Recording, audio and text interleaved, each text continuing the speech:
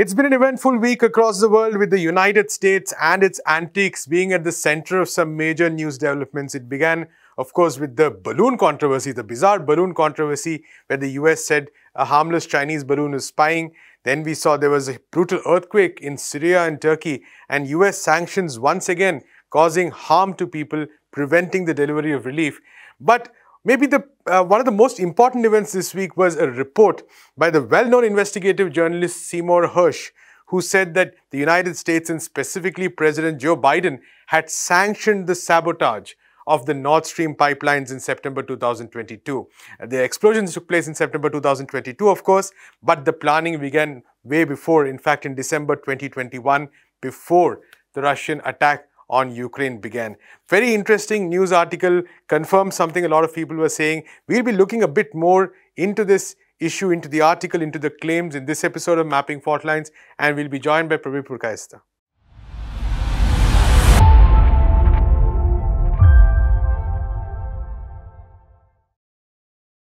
Uh, so, Prabir, Seymour Hersh's article confirming what many people, including us at Mapping Fault Lines, have been speculated many months ago that the US was responsible for this sabotage.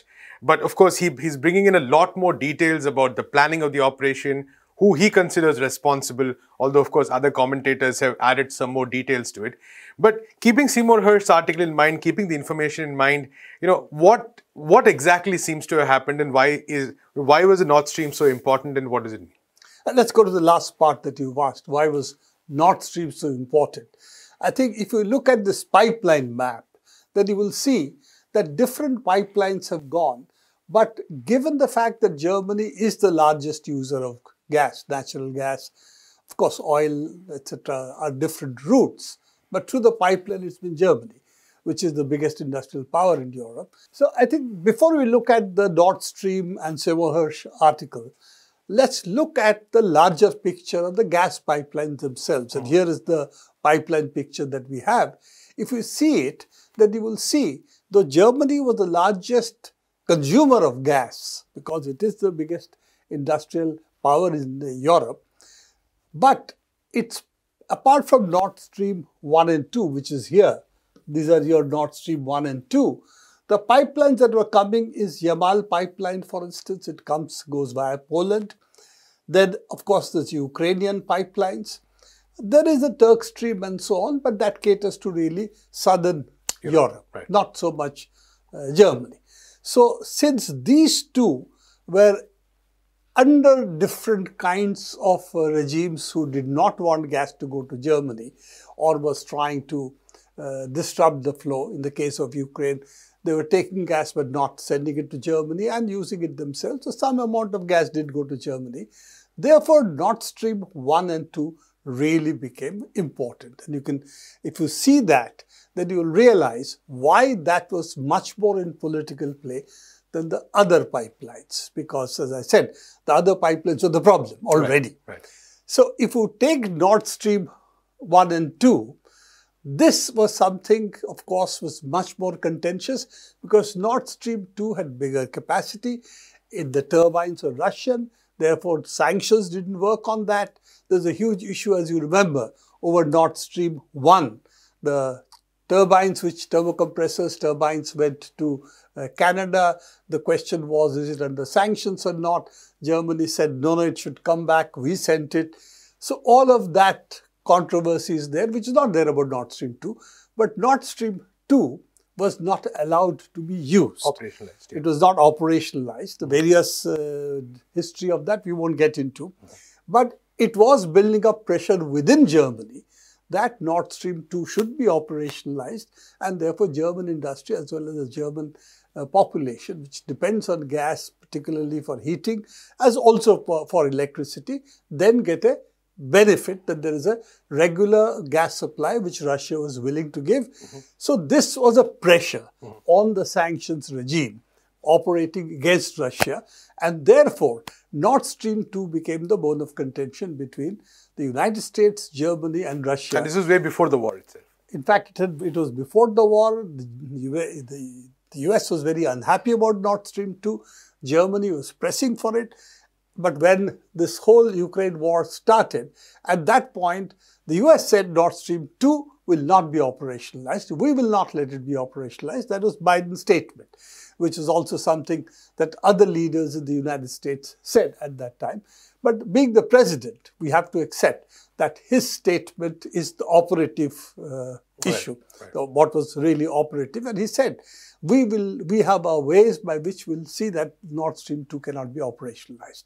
So that was thought to be a political threat. What we did not understand was there was an execution threat behind it, which is when Nord Stream 2 blows up. Absolutely. Now let's go to Seymour Hersh's article, which you have talked about.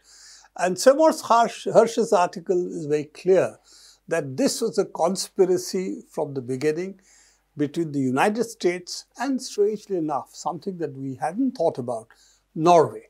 So Norway is really not close to the pipelines because it really passes through the Baltics. Yes. So if you look at the neighboring countries, one would suspect, for instance, maybe Lithuania, Latvia, they're too small. Or Sweden for that matter. Poland or Sweden, who are quite close to where it, the actual action happens. And even Denmark, which is not so far off. So Denmark is really here. Right. So these are the natural countries that we would suspect. Seymour Hersh's article is very interesting because it said Norway was a participant along with the United States in scuttling the Nord Stream 2, that it participated in the operation. Now, if we look, talk about the Nord Stream operations, we know that there were essentially four leaks that took place here. Three were in Nord Stream 1 and on there is only one leak which took place in Nord Stream 2. Now these pipes, which is called Nord Stream 1 and 2, are actually two parallel pipes. So they're four and two strings. So they're really four pipes. So effectively, Nord Stream 1 has three holes in it. Both the pipes are out. Nord Stream 2 has one hole in one pipe. So there is another string which is still operational. But the issue is nobody is now talking about using it to supply Germany. Though at the moment Russia can supply Germany if Germany accepts supply from the right. Nord Stream 2. Right. So it's not that Nord Stream has totally stopped. It has 50% of its capacity because Nord Stream 2 can really replace all the Nord Stream 1 is supplying and more. So it's not that therefore Nord Stream has been completely stopped. It hasn't. But I think the warning is very clear that if they try to operationalize it, well, we'll not let that happen. Mm -hmm. So that message has gone home. So Germany is not talking about operationalizing the remaining pipe of Nord Stream right. 2. Right. So that is one. The interesting part of the whole operation is that it, it seems to have been worked out not with normally the special services of the United States, which is what we would expect. But according to Seymour Hersh, it was really operationalized through the US naval. Uh, the deep sea divers deep, of the Navy. Deep sea divers of the Navy. And he has talked about a Panama school where they were trained and so on. But these are the ones who seem to have really done the sabotage, laid the charges. These are basically shaped charges to be able to uh, break the pipes of this kind of uh, concrete as well as steel. So therefore, they were shaped charges. They are not very deep, by the way, because the place where it is actually the sabotage takes place is about 200 to 217 meters deep or something. So it's not a very deep uh, pipeline over there. The pipelines are covered. So they're covered with sand and whatever uh, would be the normal sea, sea bed uh, but they're also concrete and within that the steel pipes run. Right. So they're not easy to sabotage. You can't take a drill and sort of drill through them kind of stuff or small explosives will not do. So these are shaped charges which require uh, a lot of engineering to think about how to do it mm -hmm. and how to lay it and then cause it to explode. As far as we can see, the when would it have been laid? Now, again, Seymour Hersh said this was done during the what's called the Baltic Operations 22 or the Baltops 2, which is where uh, I think a number of countries. In the Baltic Sea, basically. Baltic Sea. This yeah. is the whole Baltic Sea. Mm -hmm. So if you take this whole area, there was this there were annual operation annual uh, naval exercises which takes place nato countries and some of its friends participate which took place around june to september roughly in that period But according to uh, Seymour Hersh, the charges were planted at that time. In June, right. In June. Now, this is a bit uh, of a problem because the actual explosion takes place in September. And again, it is true that when it was planted was not when it was exploded. It seems to have been exploded later. So that there is plausible deniability. Plausible deniability, US, yes. exactly. That there's plausible deniability that we are not doing it. Uh, somebody has done it. See, we have left the area. So it seems to have, according to some other experts, it seems to have been done later because there was a naval ship, United States naval ship, which stayed behind. It did some operations with divers, it did some exercises with them.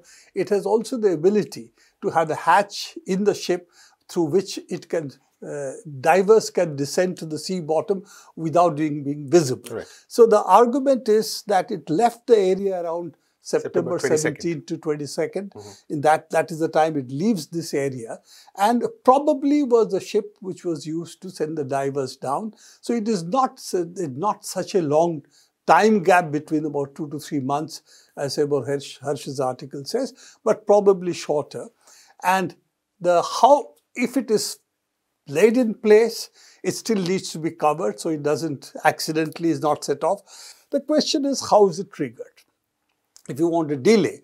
So argument again and the Seymour Hersh his, uh, this, uh, details that it was by a sonar trigger uh -huh. and it's a sonar trigger which does not is not easy to mimic so it will not happen by accident so it was a sonar signature, say sound signature, the sound wave signature, which the depth charge in, has intelligence enough to recognize it, right. then it explodes. Or it then starts, the timer starts and it explodes. And apparently the sonar was dropped by Norway. Now where it came from, we don't know. So it could have overflown Sweden and dropped a some kind of a device over here or somewhere nearby, which would have sent the signal for these explosive devices to work. So this seems to be the picture. If you see the more detailed picture, if you see this picture, there's one interesting issue that is visible that on Nord Stream 1, as we said, there are three holes. Mm -hmm. Nord Stream 1, there is only one hole.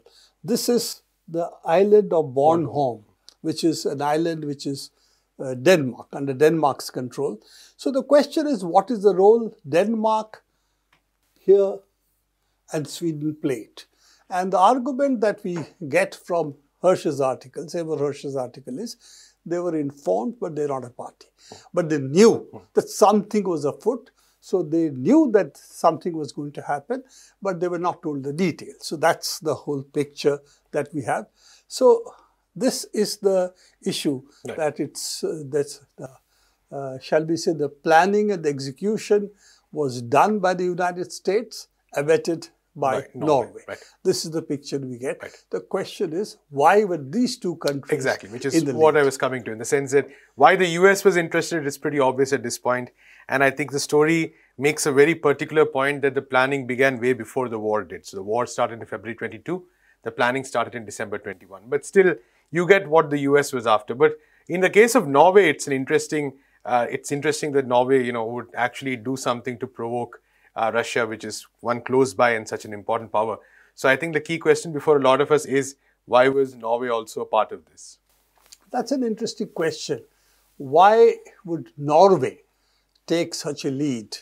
Okay, United States was the uh, prime uh, suspect mm -hmm. as well as the prime actor. Mm -hmm. That's clear. But why would Norway do such a thing? Now, if you look at the larger geostrategic issues, Norway has as much of a stake as anybody else. But there is one significant difference between Norway and all other countries in that region, which is that Norway is a major supplier of natural gas, as well as oil, but natural gas particularly. And it has been uh, a major supplier to other European countries in competition with Russia. Right. So if you look at it, Russians and Norwegians are the primary suppliers to, of natural gas to Europe, particularly both through pipe supplies as well as through LNG. So Norway has a direct vested interest, just as the United States has, mm. to see that Russian gas does not reach Europe. And therefore, if you look at what happened after that, and you will see here is where the somewhere around this the sanctions you you have fairly early on that the supplies from Russia, these are the supplies from Russia, start to fall. Mm. So these are where the sanctions are biting. Right. So this is around this time you can see that sanctions are biting and Russian supplies are steadily falling mm -hmm. around this uh, in this period. Mm -hmm. So what is growing? And that's an interesting question because what you find growing essentially is Norway pipeline supplies, which mm-hmm. is blue. These are Norway pipeline supplies. These are the blue line, as you can see. And that starts rising. Right. The amount starts rising. Mm -hmm. And then you have, of course, the LNG, LNG imports into UK and mainland. LNG imports primarily United States. Right. So this is again primarily United States that is getting the LNG because that's the immediate supply that takes place. Mm -hmm. West Asia, of course, but that is already there. Mm -hmm. So this is the new supplies that are coming in. And with the two LNG stations Germany has built, they are going to replace clearly Russia as the main supplier. Now, this is the, if you see again, you can see Russian supplies decreasing and you can see that the LNG share rising. Mm -hmm. And the LNG share rising is that of the United States right. primarily, right. some Norway, I guess, also, mm -hmm. but primarily. And for pipe gas, it is going to be Norway, which is going to be the main beneficiary. So this is where the picture is. And if you look at the figures, they're quite astonishing because Norway into 2022, its supplies of LNG and pipe gas, primarily of pipe gas, has jumped by almost 100%, right. twice as much money. And United States is also going to get the two LNG stations in Germany coming on stream this year. You can already see the LNG imports from United States is going to grow. So the main beneficiaries of the sabotage are Norway and the United, United States. States. Of course, Norway doesn't have the capability of doing this high level of sophisticated sabotage, though they have a lot of experience of uh, undersea uh, piping, etc., because they have been also building pipelines, exploration, oil rigs in this area, gas in this area. So they have capabilities, but certainly they don't have the chutzpah of the Americans or the ability to do so. And they need the protective shield of the United States to be able to do right. this. So the issue is very clear. It's a part of the larger economic war against uh, against the Russians, and it is clear the gainers who are the gainers, who right. are the Russians. The only thing is that Russia hasn't lost as much as they think it would have lost because Russia is able to sell more to others. others. India, for example, or China, China for, for example. Yeah. So some switching of supplies are taking place, and the net result is, of course, that Russia hasn't lost as a thought. Russia, in fact, has also gained by increased price of oil. So therefore, it's not the quantity of oil or gas that matters, but also its price. And therefore, all of them, Russia, Norway, United States, have actually gained at the expense of essentially Europe. And Germany and specifically. Germany specifically. I think that's the issue. Why, therefore, the question to be asked, and we have really no answer to this question, why is Germany allowing itself to be, in this sense, bulldozed into bearing the burden of both the war and the oil dislocation that is place, natural gas dislocation, the price dislocations, all of it, and for whose benefit? I think that's a question German people have to answer. It doesn't look like the German leadership is interested in answering that question. Absolutely.